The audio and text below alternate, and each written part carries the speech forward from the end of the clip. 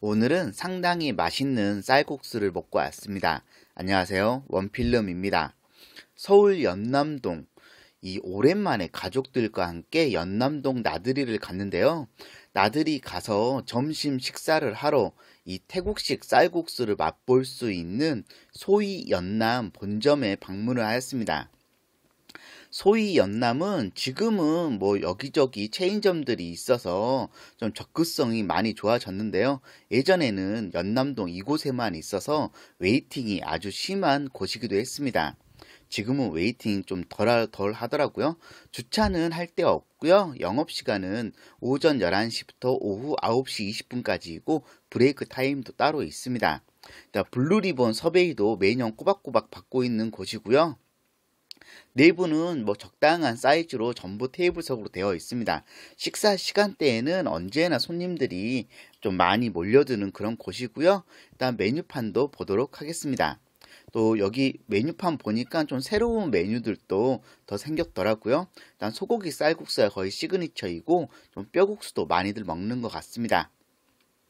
그리고 여기 뭐 밀키트도 판매를 하고 있어서 인터넷이나 매장에서 밀키트도 구입할 수 있고요. 또 한쪽에 보시면 쌀국수 맛있게 먹는 법도 적혀 있습니다. 테이블에 있을 뭐 필요한 양념장들 다 있고요. 일단 주문하고 나면은 일단은 맥주부터 바로 가져다 주시더라고요. 창 맥주 좀 상큼하게 좀 쌉싸름하게 먹기 마시기 괜찮았고 일단 소고기 쌀국수부터 보겠습니다. 소고기 쌀국수가 이 소이연남의 거의 시그니처 메뉴라고 보시면 되는데요. 일반적인 이 소고기 또 쌀국수와는 또 다른 좀 육수 맛과 비주얼을 보여주고 있습니다. 이 쌀국수는 생각보다 또 양이 그렇게 많지 않았고 또 주문할 때 면발도 뭐 일반 면과 얇은 면 둘 중에 하나 또 선택 가능합니다. 저는 다 일반면, 이 뭐 중간면으로 그냥 주문하였고요. 소고기 쌀국수답게 소고기도 좀 어느 정도 들어가 있습니다. 견과류도 있고 파도 있고 숙주도 있습니다. 고수랑 숙주는 더 추가 주문 가능하고요. 저희는 또 아이들이랑 같이 먹기 때문에 고수는 따로 주문하지 않았습니다. 소고기 쌀국수 같은 경우에 일단 육수는 약간 좀 이 간장 맛도 있으면서 좀 진하게 묘하게 맛있는 그런 맛이 있고 또 면발과 함께 식감 좋게 먹기 좋은 그런 쌀국수 한 그릇이라는 생각이 들었습니다. 좀 아이들이랑 또 와이프랑 다들 이 소고기 쌀국수 맛있게 잘 먹더라고요. 일단 그리고 이 소고기도 좀 한 먹어봤는데 식감도 다양하고 좀 부드럽게 먹기 좋은 그런 좀 소고기라는 생각이 들었습니다. 저는 소고기 쌀국수 말고 소이 뼈 국수를 주문하였습니다. 소위 뼈국수 이곳에서 좀 더 뭐 인기 있는 그런 메뉴라고 할 수가 있는데요. 이 소고기 대신에 좀 뼈다귀가 들어가 있는 쌀국수라고 보시면 됩니다. 역시나 좀 비주얼은 소고기 쌀국수와 비슷해 보이고요.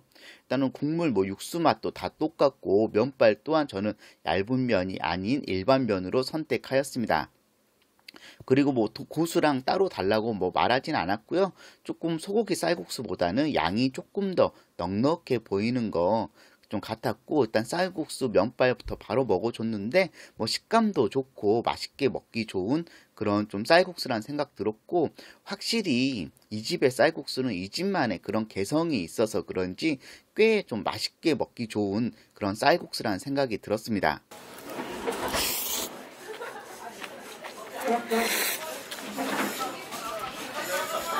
오랜만에 또 쌀국수 한 그릇 먹으니까 되게 좀 좋다는 생각 들었고 이 뼈다귀 이거 뜯어먹는 재미도 꽤 쏠쏠하다는 생각 들었습니다. 우리가 뭐 흔히 먹는 뭐 뼈다귀 해장국의 그 뼈다귀랑 같은 뼈다귀라고 보시면 되는데요. 굉장히 푹 잘 삶아져서 좀 살점 발라 먹기에도 되게 좋았고 뭔가 이곳에서 소주 팔면은 소주랑 같이 먹으면 더 좋겠다는 생각이 드는 그런 좀 뼈다귀이기도 했습니다.